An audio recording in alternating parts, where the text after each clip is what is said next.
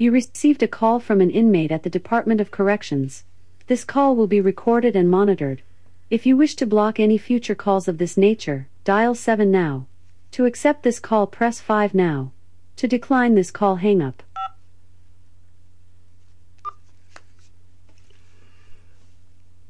Well, hello there, Michael. How are you? Don't know. Things have been pretty good over here, so uh, not really going to uh, complain about anything. Ah, yes, yes, the transgender issue. I've been working on that a little bit. No, you know, as long as everybody breaks, I mean, as long as everybody follows the law, I'm I'm fine. And people can do whatever they want. You know, this is America. We have our freedoms, and just don't infringe on the rights of other people. And I think the transgender people are fine. It's just that those who pretend to be transgender, I think that's the issue we have, especially in the state of Washington. Yeah, I've heard of heard about those in- incidents, and I'm I'm working on a couple of them, and uh, I'm really looking to uh, bring this to the attention of the state as well as the DOC because the DOC I think was kind of put on a spot. You know, when the when the state tells them you have to put people in the prison that the gender they identify with, that uh, that puts a lot of folks on the spot, especially those who are in a usually a single gender prison and they choose not to go to the opposite gender prison. So the women who have a choice of going to the male prison or the female prison, they want to stay in the female prison, they shouldn't be walking around with a bunch of males. Likewise, a male who chooses to be in the male prison shouldn't be walking around with a bunch of females. And I, I know when the people identify as female and they're given the choice of going to the female prison, that could be an advantage to the transgender person. But when I talk to people who are transgender and they're truly transgender, then they're quite happy being in the, the female prison and they're attracted to men. So uh, that kind of stuff that that's their own personal issue and really shouldn't be a big discussion. But I uh, but some of the female inmates that I talked to they say there's just quite a few males that's roaming around in there and even the the visitors are a little shocked to see that happening. It's almost as if prisons no longer have gender, uh, gender identification. They're just, uh, I, I, imagine soon in the state of Washington, there's just going to be correction centers, and there'll, there'll be no gender specific ones. And I'm not sure how that'll work out. I'm sure there'll be new issues, and, and we'll have to increase the staff and counselors and education. Be a lot of changes going on out there. Well, yeah, I know in, in the male prison you don't see a lot of the females that go over there. And the ones I talk to who they're they're usually I wouldn't say that they're transgender. They're just lesbians that kind of lean toward the male side. Some of them You have 60 seconds remaining. uh, maybe a, a sex change but um, I, I think I think they're happy being in the female prison, and and there's a lot that goes on in there that the public doesn't know about. Yeah, I'm sure you you know quite a bit, but these are changing times, and it's just something I'm looking into, and I'll have to accept myself. But there are dangers, and those dangers You have 30 seconds remaining. put out there so that when people go and vote on these issues, we can get it fixed up. I don't think we should keep going like this. Well, yeah, I, I, uh, I'll, I'll do my best to, to uh, resolve the issues that I'm working with, and hopefully, we're not going to see any uh, harm come. They'll be able to work something out and, and keep everybody happy. And I think that's the big problem. They're trying to please everybody, and you just Thank can't- you for using inmate call. Goodbye. Well, hello, and welcome to AQS Inmate Call, and I'm your host, Joel Wilborn. And in this episode, I'll just look into some encounters, personal encounters I've had with uh, transgender people, just to give you an idea of the scope of these uh, individuals namely that we're in the Washington Correction Center for Women.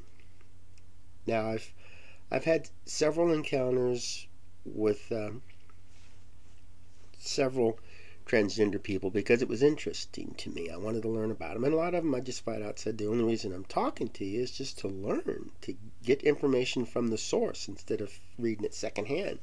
And they were really happy to, to help, and they would talk about incidences where they were just treated badly. And then I talk to uh, female inmates who say that the trans people get a lot of uh, special treatment. And so I don't hear that from the trans people saying yes we do. I hear a lot of them say that they're they're mistreated as well, and that's easy to understand because there's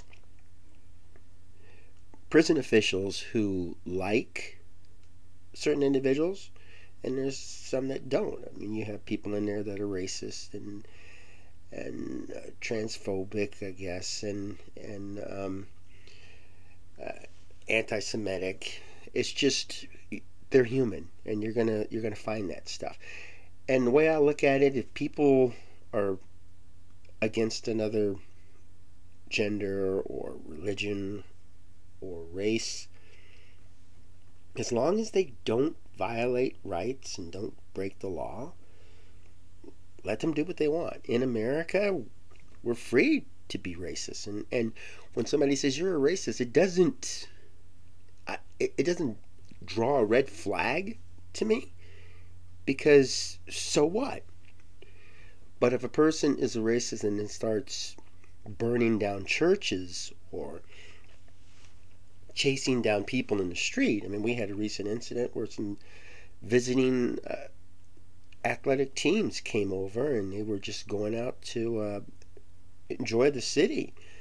And these alleged racists, I'm not sure if that's what they were, they just drove by and was hollering out racist names. So it was like a racist hate incident that came up, and that's not something that the city wanted to promote. And that's not something that makes us proud. But they just drew the line, or they crossed the line, because they actually broke the law and violated these people's rights, and that wasn't fair. Fortunately, the community came together and, and uh, went out actively looking for these folks to press charges. That's that's not what we want and in prison it's the same thing. If a like uh, one of the trans females told me that she was trying to you know, use the bathroom change her clothes and there's male officers just looking at her. And she said i didn't like them sitting there staring at me. I, I, I need my privacy. And we kind of can guess what was going on to these people's minds why they were doing that kind of stuff. Uh, but hearing from the trans person was nice because I got to see how she felt, and I got to see uh, what some of the incidences that they go through. And she had a lot of paperwork, and she's doing her, her legal filings too. And I, I hope people who have their rights violated do uh, file a lot of lawsuits we, we need this to get out to the public. Now, years ago, there was a, a trans person that I contacted at the Washington Correction Center for Women, and uh, her name was uh,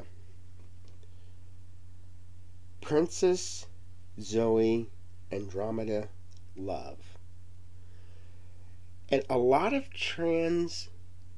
transgender people who are in prison, it dealt with a, a sex offense.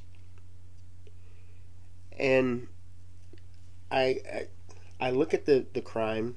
If this person is accused of, of raping a 12 year old girl and then going into the prison and grooming women because a lot of young women go into the prison and a lot of young women who look like children are in there and they're they're prime suspects. I mean not suspects but they're prime victims for uh, sex offenders especially those that could really um, mess up their mind really kind of like gaslighting for them but princess zoe that's what he did and talking to him, he put out the regular uh, information about transgender people, and I didn't really get too much from him. And I thought, well, he's going to be released soon. Maybe I can find something out after that. And the other prisoners, when I would ask them about him, they said he would strut around and you want some of this and look at me. And he was just kind of like women are in prison they're deprived of their men and their their their intimate relationships and he figured he could fill in for them and a lot of them really disgusted. And when i talk to the trans people who actually are identifying correctly they want to be with men and they want to be in the, the female prison because they don't feel comfortable in the male prison these folks were saying people like Princess Zoe really made them look bad. Now, after Princess Zoe got out, I had a brief encounter with him, but he converted back to a man. And there's a phrase in there, straight out the gate, where women will go in and they'll do kind of like lesbian activities, but they just change their ways when they get out. And then there are some that are just bisexual. It doesn't matter to them either way. And this kind of goes along with the normal thing. He goes in there and he didn't really change though. His sexual orientation was still toward women. But the state doesn't want to get the don't they don't want to upset the wrong people. Let's put it that way. And that was that was kind of bad. And the people that knew him, there was a couple that said that they liked him. He was a good person, but I just really couldn't get him to to say anything to me that would show that he was fake, that he was just using this the system. Hopefully, he won't go back. I haven't really heard too much about him, and he he may have gone back to his uh, his birth name, Hobby Bingham. It's easy to look him up see his picture, and you know, just just to say, oh, I've got long hair, I'll braid it, I'll tell people. But to me, if a person goes into a prison, let's say a transgender woman, and then says, I want breast implants and, and I want to get the sex change, the prison will pay for that. And you know this person is being legit. Now, I've talked to a few females, like one female, she said, I don't mind having my breast removed, but I'll keep everything else. And she dresses the part, looks the part of a male. And when she talks to me, she talks about females, but she doesn't want to be in the male prison. And I know when I when I sit with folks that are part of this community, the LGBT Community, uh, they tend to recognize each other. They'll know when a person is is playing, and they know when a person's legit. And like any human, there's a few hits and misses, but that community is pretty much tight, and I respect that. And to to show disrespect for straight people or even the trans community by faking this. You know, you got people who are cross dressers and you got people who are drag queens out there, and that's what they do, and they're not trying to uh, show any disrespect for anybody. They're just staying within their lane, so to speak. And that's a world I'm still looking into on this. Now, uh, recently, I was contacted to help a person find an attorney who was raped in the Washington Correction Center for Women by a trans woman. Kind of like the Princess Zoe story. And it just kind of brought back all of that. And so, of course, I can help this person get an attorney. I, that's that's it's like a a guaranteed thing there, but you just have to do it right. So I really have my work cut out for me. But she her her issue hit the news and it's bad to have that happen and then to have to stay in that area because when people are traumatized they like to kind of get away but they can't when they're in prison. Mentally they can't get away physically they can't get away and then they're just going to have to deal with it whether they like it or not and it's kind of forcing them into a, a situation.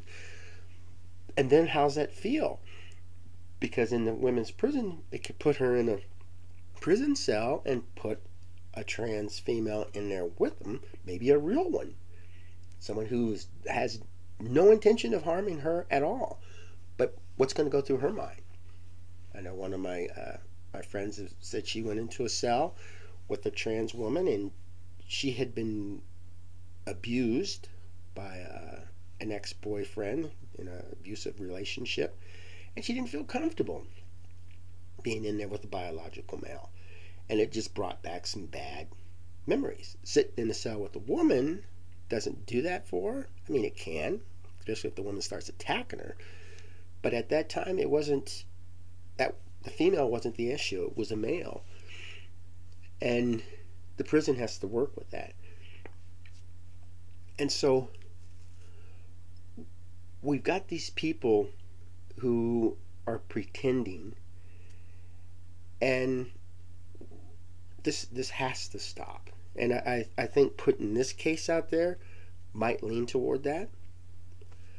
Now I just started uh, looking into the situation of a young lady named uh, Sincer-A. Now, she was on a TV show, Love During Lockup. Now, they had asked me when I was dating Paula Gardner, but Paula didn't want to do that. She she got some. She wants to protect her privacy, and that's that's fine. So, we didn't do that. But Sincer-A did. And uh, she became, I, I, think the full season went through. I didn't even see the show, but it's it's uh, one of those things that fans of that particular show know her name. And her relationship didn't work out, where they would uh, talk with a person who's dating somebody that's in prison and uh, find out how how it progresses. And it's dating people in prison is not easy. It's a tough, tough job, and there's a lot of heartache that goes with it. And I, am used to it, and I, I like that kind of challenge. I like that kind of uh,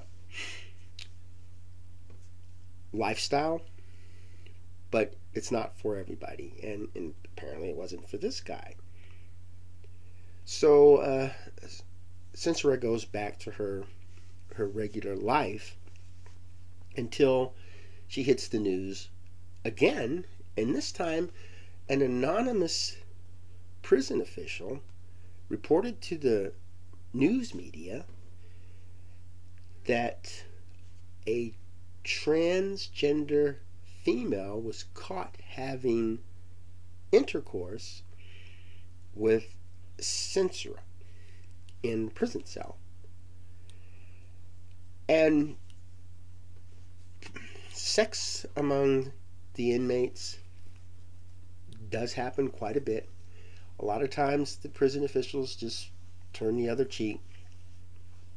But I'm thinking that with Sincer-A, it was because of her uh, association with this television show that this person went out. Because transgender people do that quite a bit, and it's consensual, they don't care.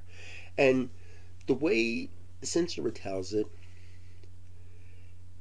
she she knew she did something wrong and, and it's just more like she got caught. And that's the life of a, a criminal.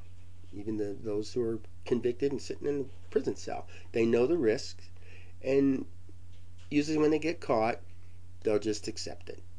I, I took a chance, I lost, I accept it. They're not sitting there, I never did this, this didn't happen. She's not saying she didn't do anything. She just kind of told me, yeah, I did something I shouldn't have been doing. I broke the rules.